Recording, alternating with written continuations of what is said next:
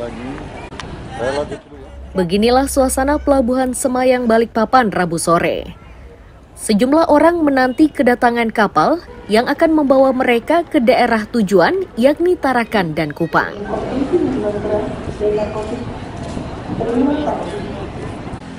Kepala Cabang Pelni Balikpapan Amin Amrullah menyatakan, suasana pelabuhan saat ini masih belum ramai.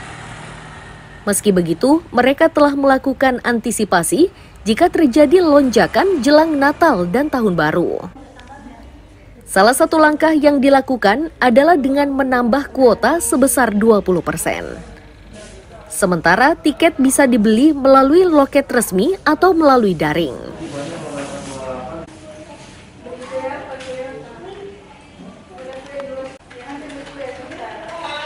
dengan arahan dari pusat kita penjualan tiket tetap seperti biasa sesuai dengan kapasitas penumpang yang ada ditambah dispensasi. Karena untuk Nataro ini kita sudah mengajukan dispensasi dan sudah disetujui oleh Kementerian Perhubungan. Ada kisaran sekitar 15-20 persen untuk setiap kapasitas kapal penumpangnya. Kemudian terkait dengan penjualan tiket itu kami sudah sediakan channel-channel selain ada di loket. Kami juga di channel yang lain seperti di website Peli terus di aplikasi Peli Mobile sama di eh, apa namanya di 021162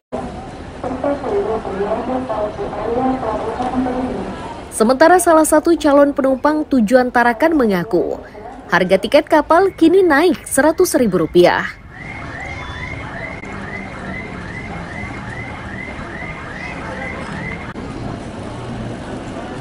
rencana mau berangkat ke mana nih Pak? Nah, saya berangkatnya tanggal 12 Uh Ke ke Tarakan. Tarakan.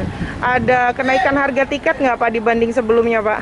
Ada ken- Hah? kenaikan, kenaikan sekitar 100 Seratus ribu rupiah. 100 ribu.